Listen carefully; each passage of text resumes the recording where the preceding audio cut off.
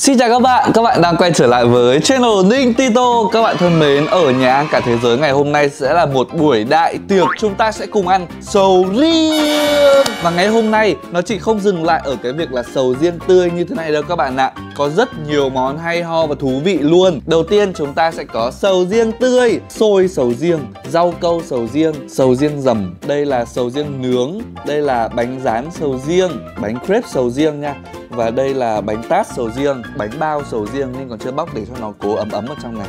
Trà sữa sầu riêng, bánh cốm sầu riêng, bánh pía sầu riêng, bánh sữa chua đài loan nhưng mà lại là nhân sầu riêng. Sô cô la sầu riêng, bánh đậu xanh sầu riêng, kẹo sầu riêng, trùng cuộc sầu riêng sấy, snack chả giò sầu riêng bánh trứng sầu riêng, sữa chua vị sầu riêng, kem sầu riêng. 22 món ăn với sầu riêng ngày hôm nay chúng ta sẽ thử. Các bạn đừng quên like, share, subscribe kênh youtube của Ninh Follow Ninh trên Instagram, TikTok, Youtube, Facebook, Ninh Tito hoặc Ninh Ý Tình nhé. Cùng bắt đầu đại tiệc sầu riêng. Các bạn biết gì không? Ninh biết được một sự thật đó chính là sầu riêng ấy. Ờ, Bởi vì là ở Việt Nam cũng trồng được ở các tỉnh miền Trung và gần gần mạn phía Nam. Tuy nhiên thì sầu riêng nó không có xuất xứ từ Việt Nam đâu. Xuất xứ của sầu riêng nó từ Malaysia Sau đó thì nó phân bố ra khắp tất cả mọi nơi ở khu vực Đông Nam Á là nhiều. Đó, và sầu riêng thì giá thành nó không hề rẻ một tí nào Đặc biệt là những loại sầu riêng ngon. Thì ở đây Ninh mua được một múi sầu riêng. Bây giờ cho Ninh quả là Ninh không biết khía, không biết rạch làm sao để bờ mở đâu. Nhưng mà để mà ăn thì tôi ăn được nha. Uhm, cầm tay đi. Ui nước nước bọt luôn mà các bạn ơi. Những fan sầu riêng đâu rồi? Xin mời các bạn, mời các bạn cùng ăn sầu riêng tươi với ninh nhé. Hy vọng là quả này nó ngọt. Uhm. Uhm. Uhm.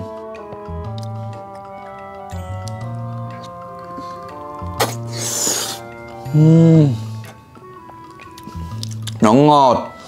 Nó béo ngậy luôn đấy mọi người ạ nó béo ngậy luôn và rất là thơm. Sầu riêng mà ăn được cái mùi của nó nó thơm, nó ngon, dã man luôn mọi người ạ. Mà cái muối này không hề bị đắng nha. Uhm. ngon tuyệt vời luôn đấy. Các bạn biết ngày xưa ninh học ăn sầu riêng kiểu gì không? Ninh sẽ bắt đầu ăn từ kem sầu riêng là cái hộp merino lúc nãy các bạn xem ấy hoặc là Vinamilk cũng có kem sầu riêng. Nhưng bắt đầu ăn từ kem kem xong đến bánh pía. Bánh pía xong rồi đến ăn chè thái sầu riêng. Và cuối cùng nên đã gặm được cái múi này. Quá là ngon. Mùi sầu riêng ngửi được là thơm lắm.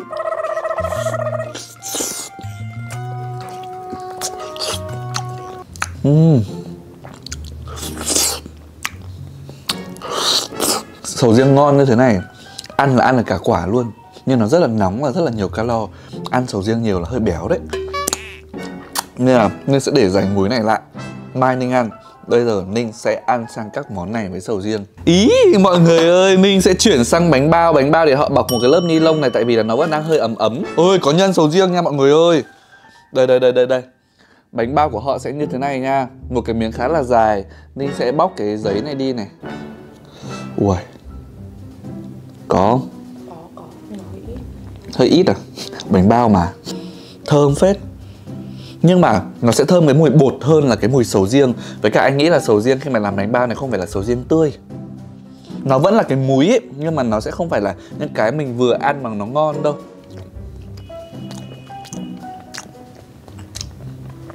Mà cái bột bánh cốt bánh cũng mềm. Cái sầu riêng ở trong đây ăn nó cũng ngọt ngọt, thơm thơm. Nhưng thật ra là ở trong đây ừ, nó không quá là đặc sắc là sầu riêng lắm đâu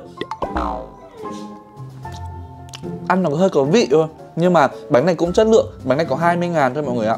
20 ngàn mà có cả sầu riêng kiểu muối như thế này. Giờ hầu đói quá à con. Đợi bố một tí, bố ăn tí nữa bố cho cái khác. Con ăn sầu riêng là nóng trong. Nói chung là cũng được nhưng mà không quá ngon. Đây là một múi sầu riêng luôn nha mọi người ơi. Và nó đang rất là nóng. Rất là thơm, rất là thơm luôn. Vỏ ngoài nó xém xém một tí. Nhưng mà sầu riêng này, có lẽ là nếu mà người ta, một múi này có 65 nghìn, mà lúc nãy mình ăn là 180 thì có thể nó sẽ không ngon, chất lượng nó không tốt bằng. Hoặc là sầu riêng này nó không quá tươi lắm. Hoặc là nó tươi thật và nó rẻ thì cũng không biết. Nhưng mà bây giờ thì ninh sẽ thử. Uhm. Lạ phết. Nó là nguyên muối sầu riêng luôn mọi người ạ. Cái vỏ ngoài này nó hơi xém xém Ăn nó kiểu hơi đắng đắng nhẹ một tí. Nhưng mà cái sầu riêng khi mà nướng lên ấy Nó thơm lắm mọi người ạ. Nó rất là thơm. Uhm. Hơi đắng nha, cái vỏ nó sẽ hơi đắng một tí đấy. Nhưng mà vẫn ngon. 65.000 muối này cũng ok nha. Dành cho những bạn nào muốn ăn sầu riêng nhưng mà không mua 180 thì muốn mua 65 nghìn. Bánh sầu riêng, cảm giác nó hơi giống bánh chuối chiên ấy Nhưng mà thay bằng nhân chuối thì sẽ là nhân sầu riêng nha mọi người. Chính xác là giống bánh chuối luôn. Cái bột này họ làm hơi ngọt. Sầu riêng vốn dĩ đã ngọt rồi, bột này không nên cho nhiều đường quá. Nhưng mà ngon, sầu riêng khi ăn nóng nó rất là thơm, nó rất là ngon và cảm giác nó ngọt hơn bình thường nhiều hơn một tí. Uhm.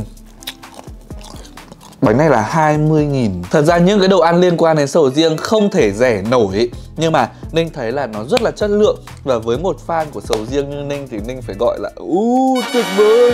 Xử lý luôn cái đĩa này Ninh sẽ ăn cái phần bánh tát sầu riêng nha mọi người. Nó nó là bánh tát trứng nhưng mà ở trong nó sẽ có thêm cả sầu riêng tươi nữa. Đây mọi người ơi ôi trời ơi dầu quá ở trong mỡ quá mọi người ạ.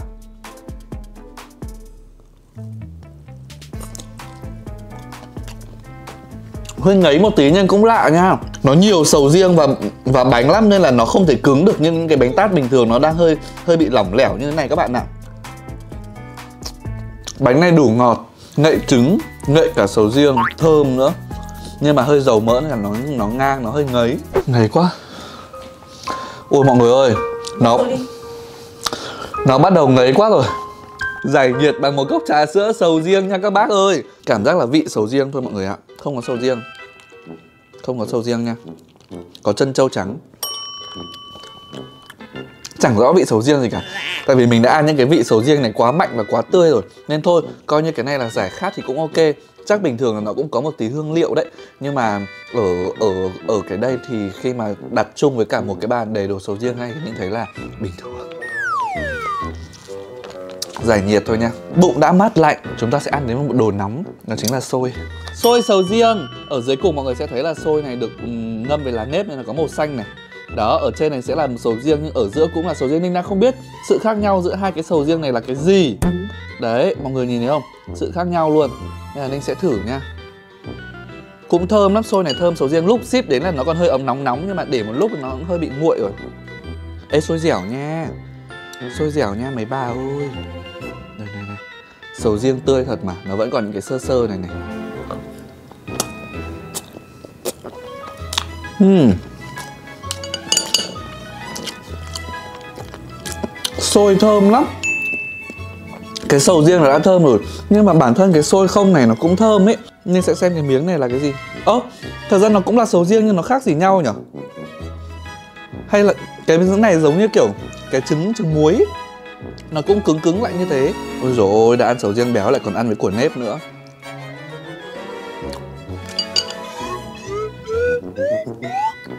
Uhm. cái phần màu vàng sầu riêng nó không quá ngon nha. Nó bị hơi ngang ngang hơi kiểu hơi lên hơi có men men một tí. Không thích lắm. Nếu mà ăn cái phần sầu riêng trắng này với xôi thì nên còn thấy là tạm ổn. Nhưng mà mọi người ơi xôi với sầu riêng là ngấy. Xôi nó đã là của nếp xong thêm mấy sầu riêng nó là thêm ngàn lần ngậy lên ấy. 58 nghìn ok nhiều thật đấy có sầu riêng tươi thật đấy. Có, à, có muối sầu riêng thật đấy. Nhưng mà vấn đề là ngấy quá. Em em không khoái món xôi này lắm nha. Cho xin lại xôi xéo thì ăn này. Thôi rồi nhân tiện đang ngấy ngấy một thể đi. Bánh crepe sầu riêng. Ui trời ơi bánh crepe sầu riêng thì phải gọi là rất là ngậy rồi, bởi vì trong đây nó sẽ có cả kem. Mình sẽ tách cái bánh sầu riêng này ra cho các bạn xem, bánh crepe sầu riêng. Ôi rồi ở trong nó toàn kem. Ốc ít sầu riêng lắm ấy. Toàn kem thôi. Mà cái bánh này mà các bạn cứ đặt những cái mà 10 cm 16 cm 18 cm mà ăn thì ngập cả một miếng mất.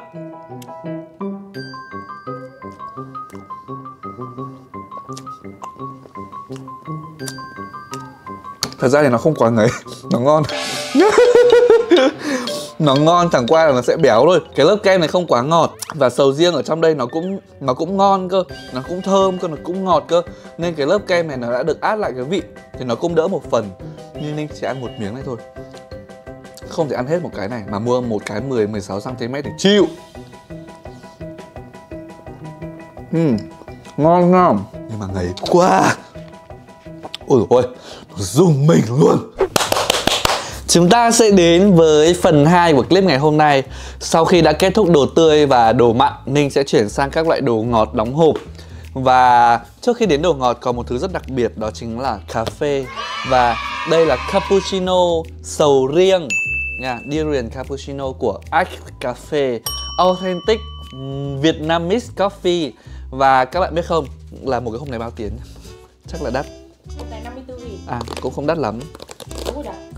Thế thì chắc là hương liệu sẽ tuyệt vời lắm đây. Và một gói này chúng ta sẽ pha với 60ml nước. Đây Cà phê hòa tan Cũng thơm ấy? Nhưng mà không rõ cà phê lắm. À không rõ vị sầu riêng lắm. Nên sẽ đổ ra cho các bạn người xem này.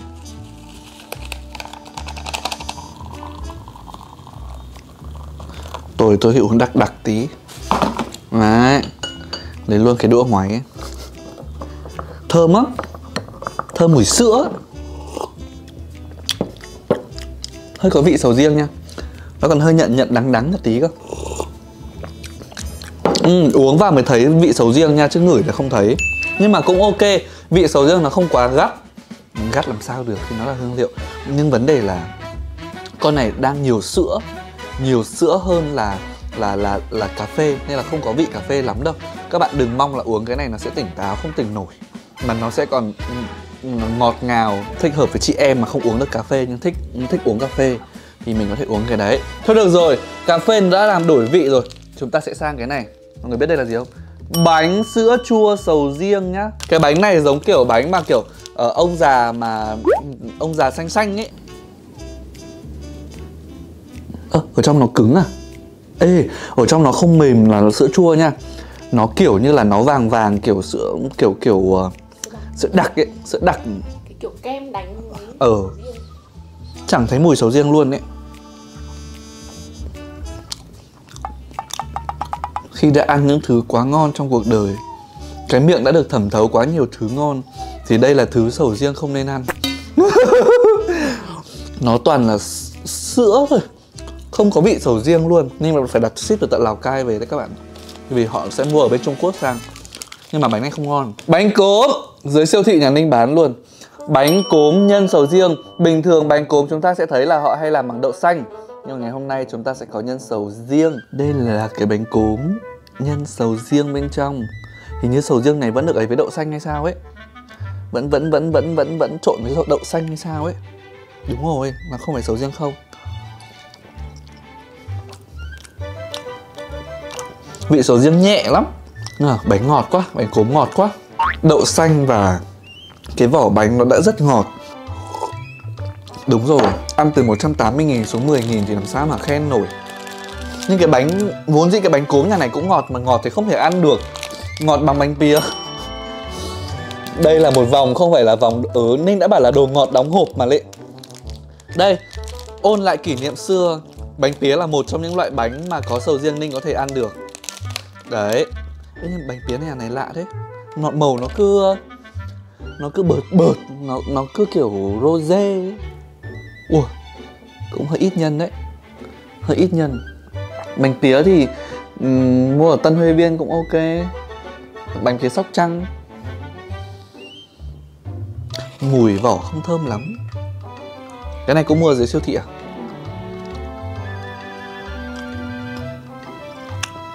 Bánh pía này không ngon bằng tân huê viên.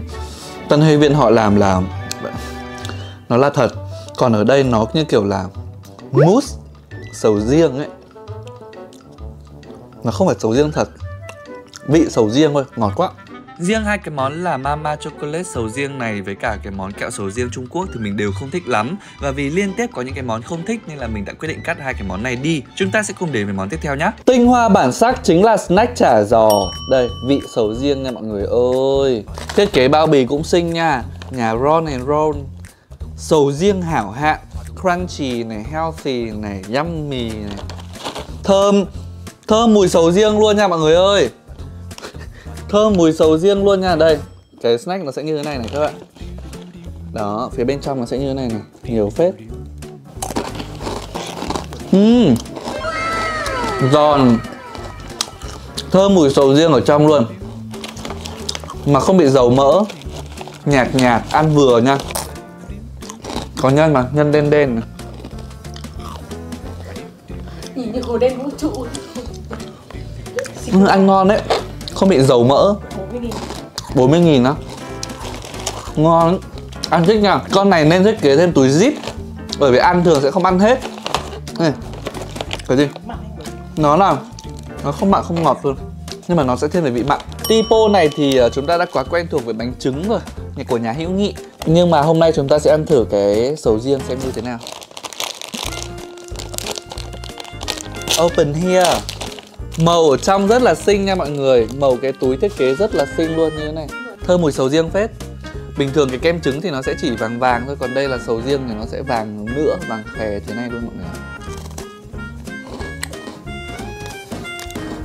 uhm, Hmm, ui, vẫn vị bánh trứng. Cái lớp kem này Nó sẽ có thêm một tí vị ở durian Vị ở sầu riêng. Cũng ngon đấy. Độ ngọt vẫn như bánh trứng nướng luôn. Bình thường nguyên bản. Cũng ngon nha. Em này không bị fail, ngon luôn. Một like cho em tipo này chỉ là hơi ngọt thôi. Ninh là Ninh thấy mọi người khen em này lắm đây này. Đây là sầu riêng sấy nha mọi người. Không biết ở trong nó có gói nhỏ hơn không? À nó có Mùi cái túi khắm khắm. Nó có nhiều gói nhỏ ở trong mọi người ạ. Đây Như này. Ăn à, này tiện nhở? Mỗi tội là hơi nhiều ni lông thôi nhưng mà tiện Ăn đến đâu thì nó sẽ không bị Bị uh, gọi là bị gì? Bị ỉu. Nó không nhiều đâu. Một cái túi này có vài miếng thôi. 8, 9 miếng, 10 miếng. To nhỏ. Nhưng một miếng nó sẽ như thế này. Nó như một cái cục. Cục này là cục kẹo uh, kẹo đường ấy. Đấy, nó như thế này. Không biết đều có phải là sầu riêng tươi xong họ sấy thật không? Để mình ăn thử nhá. Ăn như bỏng ấy. Nó là sầu riêng thật nha. Vẫn có vị sầu riêng, vẫn hơi nhận nhận đắng Vẫn có một tí sơ. Nhưng mà nó đang xốp lắm rồi ấy. Ở xung quanh cái vỏ nó là xốp lắm rồi. Và nó như kiểu bỏng luôn đấy mọi người ạ. Cũng ngon đấy. Đậm đà vị sầu riêng luôn. Con này phải ăn đến mấy miếng sau. Lúc mà mình vượt qua được cái cảm giác lạ lạ của cái bột ấy Thì nó ngon. Uhm, Nhưng mà ăn cái này hơi mắc răng. Ngon nha mọi người ơi. Tất cả những sản phẩm này Ninh sẽ để link ở dưới phần mô tả video Để các bạn có thể tìm và mua nhé.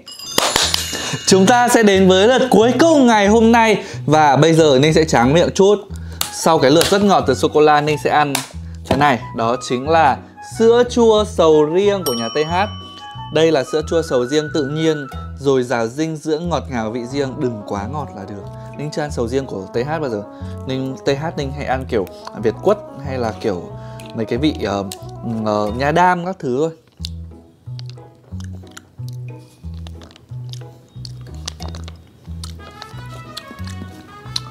Vị nó như kiểu là vị các bạn uống cái sữa ấy, cái sữa dâu rồi sữa các thứ thì nó là vị trái cây kiểu như thế. Ừ cũng ngon nha. Vị này thì không hẳn là vị sầu riêng lắm. Nó cứ hơi hơi giống sầu riêng lai hơn một tí xoài. Ngon nha mọi người, nó sữa chua này nó dễ ăn ấy. Nhưng mà nó sẽ hơi ngọt một tí. Người ta đã ghi luôn, nếu mà mày kêu ngọt tao đã ghi luôn ở đây là ngọt ngào vị ngọt ngào vị riêng rồi. Hơi ngọt một tí nhưng mà ăn ngon. Nó sẽ là mịn nó không có trái cây ở trong giống như kiểu vị hoa quả đâu. Nó sẽ là mịn này ừ, cũng được nhưng mà đúng là sữa chua. Chua.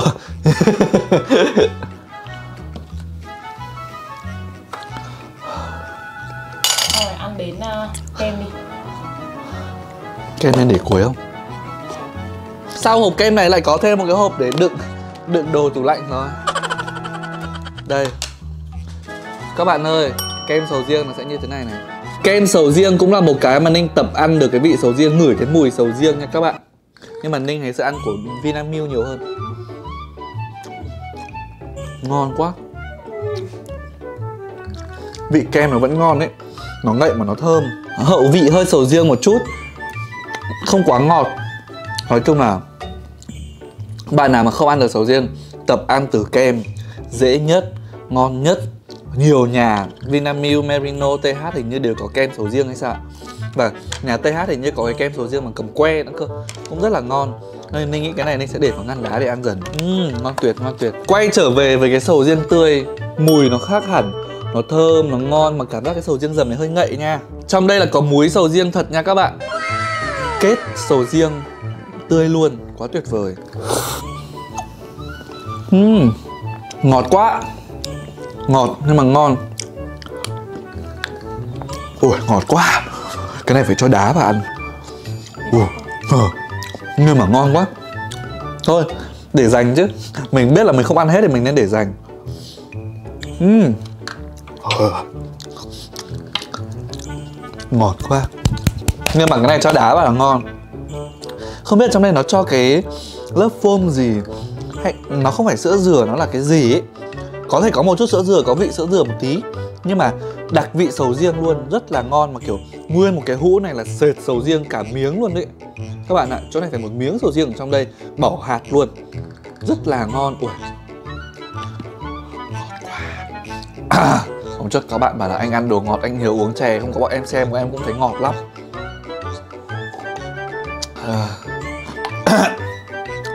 nhưng nhà, cái nhà xuyến kim này làm ngon phết. Ninh nãy giờ là ăn đồ tươi là toàn của nhà này. Có cái múi sầu riêng kia là mua ở ngay dưới chân nhà ninh thôi. Còn nhà xuyến kim này, ninh thấy cũng ok đấy nha. Đây là rau câu sầu riêng. Ui rồi ở dưới là rau câu, ở trên lại sầu riêng tươi. Lại sầu riêng tươi ở trên giá ninh đang bán trên màn hình cho mọi người. Nhưng mà nhà này chất lượng nha. Sầu riêng tươi thật luôn đấy.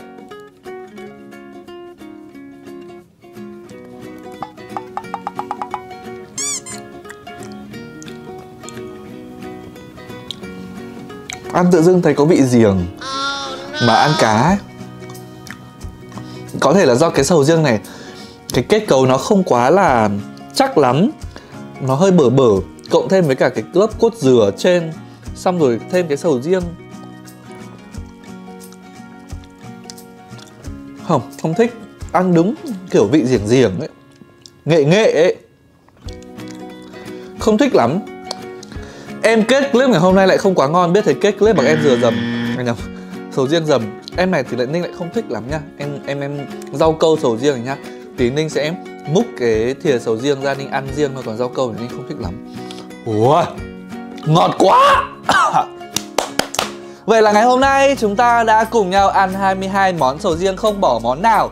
Mình tin chắc rằng ngày hôm nay Ninh sẽ lên thêm chỗ này phải 5-6 nghìn calo là ít đó. Nhưng mà không sao, chúng ta đã có một clip thật hay và thú vị, đúng không? Các bạn muốn ninh quay thêm clip nào, các bạn đừng quên comment, phần bình luận để ninh có thể mua về thưởng thức tại nhà. Còn nếu các bạn muốn ninh đi ra đường, cho ninh địa chỉ để ninh có thể đi ra đường và quay clip nhé. Xin chào, hẹn gặp lại các bạn.